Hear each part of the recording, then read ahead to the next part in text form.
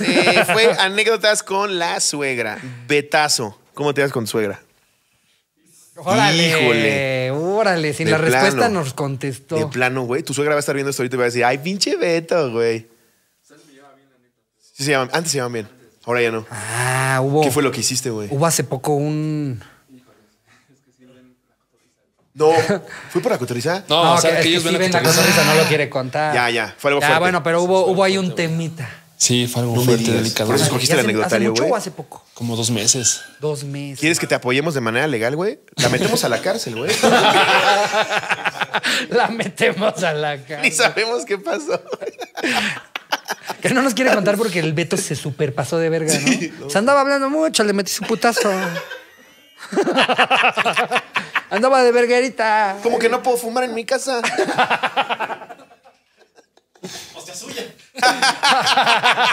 Pero ahí también vivo yo. Dejó de, casa, de ser casa de ella hasta que nos recibió a nosotros. O sea, entonces ahorita tema sensible, tema sensible. de plano, sí está delicado. Y pues ojalá todo se arregle con tu Sí, suegra, güey. ¿Ve la sí. cotorriza? Sí, güey, sí, sí. sí. ¿Cómo se llama? Ay, pues ojalá y Amalia. puedan, puedan. Amalia, señora Amalia. Señora Amalia. Ya, Beto es un tipazo. Él la, la valora mucho. A menos que haya atropellado uno de sus perros, Beto es un tipazo.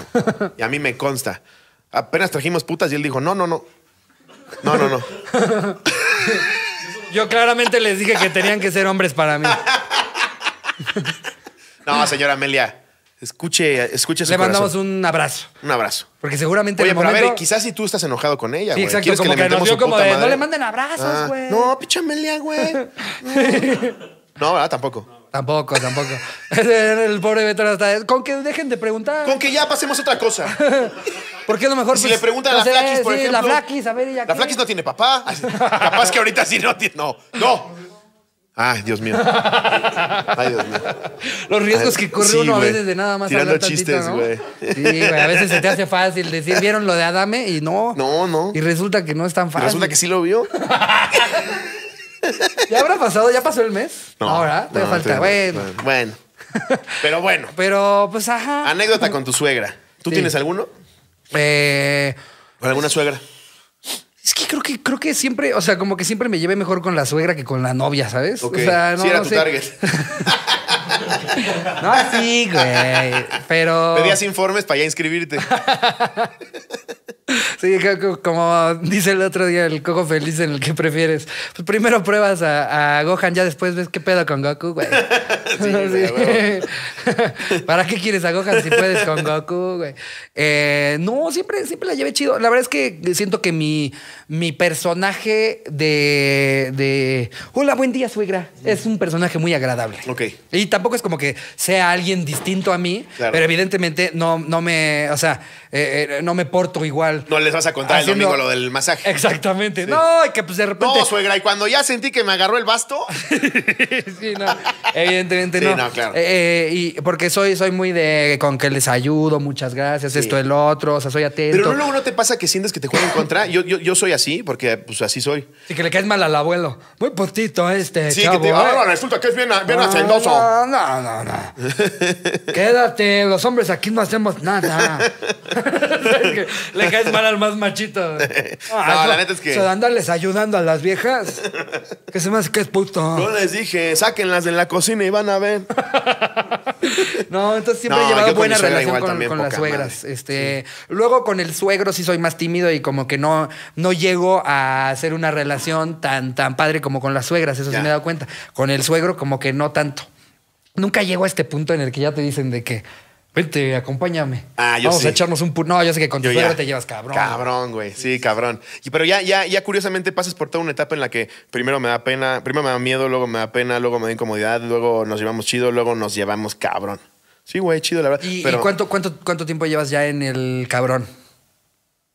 como Porque a ver, unos- que llevas ya la década. con Ajá. Sí, yo creo que los últimos cinco años ya han sido cabrón. Ok.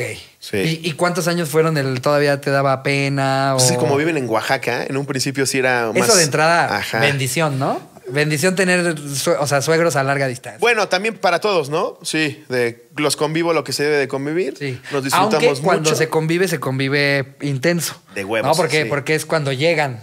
O sea, no, yo, ahorita estás de huevos. Ah, pero no, seguramente a- las primeras veces que era como de acaban de venir de Oaxaca, Sí. toca, toca estar con mi suegro todos los días, dos Ajá, semanas. Sí, güey, al- en un, en un muy principio. principio, pues, sí, no sabes de de qué estás hablando ni con "Madre qué, güey. Bueno, güey". ¿qué le platico, güey? ¿Y qué tal Oaxaca? ¿Ya no hay tanto maestro? Ya no hay tanto maestro. Ah, pues sí, sigue. sí, ahí sí Ahí anda. maestros. Que esa es como la plática. Esa es la ¿Desde plática. cuándo conoce a su hija? Dice este. ¿Cómo se conocieron ¿Y, ustedes ¿y hija? de dónde conoce a Chari? Pues del hospital. Ah, se nos puso Oh, malita. es doctor. Es doctor. Ya, ya. O enfermero. No me lo ha contado la Charis. Sí, güey, la, el- el- la- esas primeras rompehielos con la familia política, no mames, qué incómodos son, güey. Ya por eso también, ya que te los, ya que te los ganas, que, que se ganan, güey, que ya construyes una relación chida, ya es cuando te la piensas dos veces antes de decir, no mames, y si me peleo con ella ahorita, no, mejor no, güey. Sí, me llevo bien dices, chido con la "No, familia. Me la paso tan chido, me tocaron unos suegrazos, Sí, güey. güey. Eso claro que también influye, Claro, ¿eh? güey. Sí, la familia Claro. política. Y, y luego, y luego también. Pero ahorita Beto la detesta. Por eso, por eso. eh, aparte, apenas dice que la conexión de que justo hace dos meses fue que empezó a ir de putas, güey. Sí, güey. ¿No ves ahorita que ya fuma y "Ey, es lobo, me quiero tatuar? Sí, sí, sí. No, pero todo bien en casa, ¿no? Ah, qué bueno. No, fuera de broma. Si no se De, corta. de ahí viene el pedo, es lobo. Llevo seis meses sin saber de mi familia. Mames. Digo, también porque yo me desentendí.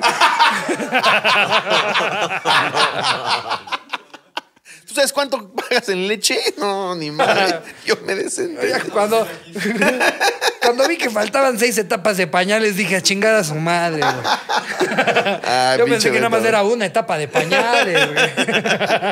No, ¿Sabes lo saludos. que cuestan los pull-ups, mi eslobo? Que sí ha de ser bien caro, ah, güey. Sí, no mames. Sí, sí, sí. Pues, güey, y aparte no es, el, o sea, el pañal desechable no es un concepto así de que viejísimo. O sea, No, justo no. el otro día en Domingo Familiar estaba platicando con, o sea, mi, mi papá, sus hermanos y así, a ellos les tocó pañal de... el, el que a lavabas, el que después lo ponías a hervir en agua y a, a volver a usar, güey. O ¿Quién sea, se, aventó? para ¿Quién se rifaba en nosotros- lavar la caca? Imagínate, güey, justo ahí los pañalitos. Déjame nada, los meto a la olla. y ahí, güey, un pañal con caca, güey. Qué, qué horror, ¿no? Qué asco, O sea, digo, también por ese asco que nos quisimos evitar, sí es de las cosas, o sea, fue, fue del- de la contaminación, eh, a nivel contaminación, fue de las cosas con las que llegamos a partirle Pero el nos vale hocico a verga. todo, güey. Con vale tal de que no sea de, no mames, ¿cómo que otra vez?